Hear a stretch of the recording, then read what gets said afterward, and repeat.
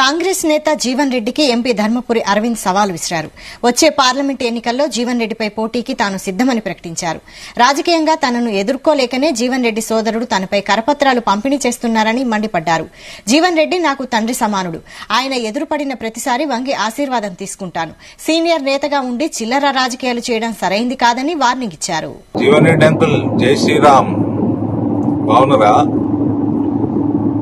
ఏదో నాకు అహంకారం అని మీ తమ్ముడు ఏదో ప్యాంప్లెట్లు వంచి చేపించి ఏదో వంచిపించిండట మళ్ళా మొన్న ఇట్లనే బీజేపీలో సస్పెండ్ అయిన వాళ్ళని పట్టుకొని ఆ, నా ఇష్టబొమ్మ తలగబెట్టించి తలగబెట్టించిన వాళ్ళకి పోలీస్ కేసులు కాకుండా చూస్తా అని చెప్పిండట.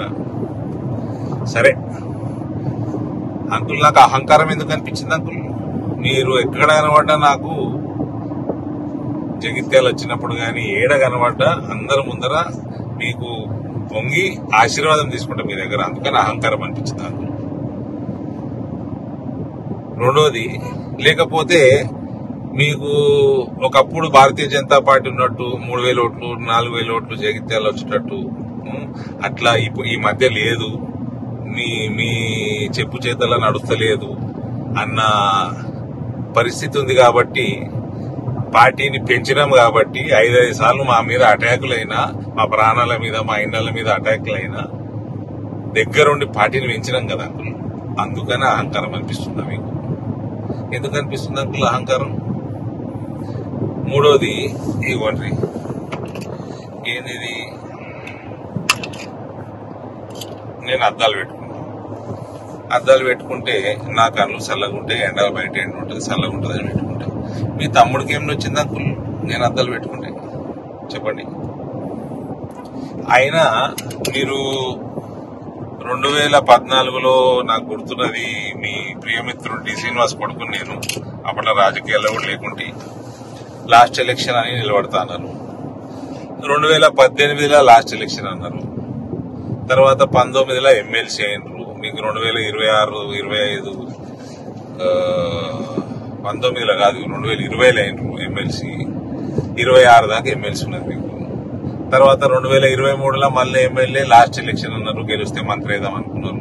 కానీ జగిత్యాల ప్రజలు మిమ్మల్ని మళ్ళా పద్దెనిమిది అరవై వేలతోటి ఇరవై మూడుల ఇరవై వేలతోటి మీరు మిమ్మల్ని ఓడించారు ఇప్పుడు మళ్ళా ఎంపీ నిలబడతా అంటున్నారు. మళ్ళీ లాస్ట్ ఎలక్షనే అంటారు మీరు. అంటే మీరు మీ పార్టీ మీ ఇష్టం కానీ నాకు ఒక కథ యాదకి వచ్చింది కథ కాదు నిజమే ఇది. లాలూ ప్రసాద్ యాదవ్ గారు రైల్వే మంత్రి ఉండే. రైల్వే మంత్రి ఉన్నప్పుడు ఆ టైంలల్లా తొంభైలల్లా మళ్ళా ఆయన మంత్రి ఉన్నప్పుడు నేషనల్ ఫ్రంట్ గవర్నమెంట్ తర్వాత యూపీఏ గవర్నమెంట్లో వివిధ వివిధ పోర్ట్ఫోలియోలలో ఒకసారి రైల్వేస్ చేసేటట్టు డేట్ కరెక్ట్ గుర్తులేదు కానీ అప్పట్లో బాగా దొంగతనాలు అవు రైళ్ళలో అయితే రైల్వే ఆఫీసర్లందరూ రైల్వే మినిస్టర్ లాలూ ప్రసాద్ యాదవ్ దగ్గర పోయినట. పోయి సార్ ఈ పలానా స్టేషన్లో ఎప్పుడు వచ్చి బండి నిలబడ్డ? లాస్ట్ బోగి లాస్ట్ బోగిలా దొంగలు పడుతున్నారు సార్. దొంగలు పడి దోసుకుంటున్నారు. ఎప్పుడు లాస్ట్ బోగే టార్గెట్ చేస్తున్నారు. లాస్ట్ బోగి ఏమో స్టేషన్ బయట ఏటో మూలకి ఆగి ఉంటుంది. స్టే- ట్రైన్ వచ్చినప్పుడు. వీళ్ళు స్టేషన్లో ఉన్న స్టేషన్ మాస్టర్ పోలీసు వాళ్ళని తీసుకుని ఉరికే వరకు ఆ దొంగలు వారిపోతున్నారు అంటే లాలు ప్రసాద్ అన్నమాట ఇంత పంచాయతీ ఎందుకే గమ్మున లాస్ట్ బోగి తీసేస్తే అయిపోతుంది కదా అన్నట గట్ల ఉంది పరిస్థితి అంకుల్. మీరు పెద్దలు. నేను మీ కొడుకు లెక్క కొడుకు వయసు నేను. ఎలక్షన్లు కొట్లాడితే కొట్లాడదాం. ఏమి ఇబ్బంది లేదు. మంచి కొట్లాడదాం. ముందాగా కొట్లాడదాం. కానీ మీ ఇంటి వాళ్ళకి చెప్పుర్రి కొంచెం ఇట్లా చిల్లర వ్యవహారాలు చేయొద్దని చెప్పుర్రి నాకు బాజాబ్తా భారతీయ జనతా పార్టీని కాంగ్రెస్ పార్టీ తోటి ఈక్వల్గా ఓట్లు తెచ్చినాం కదా ఎలక్షన్లలో అసెంబ్లీలో. ఇక పార్లమెంట్ అంటే ఎడదట్టుకుంటారు నాకు. నేను చేసిన వాగ్దానాన్ని చేస్తే మీరు నలభై ఐదేళ్ళు చేయలేని మీ పార్టీ మీరు నేను తెచ్చిపెడితే రైతులకి. ఇప్పుడు అంతా అవన్నీ నేను చెప్పిన పనులను చేసిన నేను పార్టీని పెంచుకున్నా ఇవన్నిటితో పాటు రామమయం ఉన్నదంతా. మోడీమయం ఉన్నది రామమయం ఉన్నది హర హర మోదీ గర్గర్ మోదీ ఉన్నది. ఇవన్నీ కలిసి వస్తే మీకు బాధ మళ్ళా మళ్ళీ ఈ లాస్ట్ ఎలక్షన్ మళ్ళీ లాస్ట్ టైం ఓడిపోతామో మళ్ళీ ఇంకొక లాస్ట్ ఎలక్షన్ ఉంటుందో తెలియరా మనకి.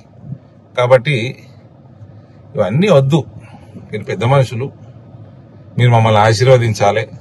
మనం ఇద్దరం ఎలక్షన్లు కొట్లాడినా కూడా నేను వచ్చి మీ దగ్గర ఆశీర్వాదం తీసుకొని కొట్లాడాలి. ఎట్లా హుందాగా చేసుకోవాలి రాజకీయాలు? వినరా అంకుల్ మీ తమ్ముడికి ఎప్పుడు చేరా ఈ చిల్లర పనులు పని చేయమని చెప్పారు భారత్ మాతాకి జై.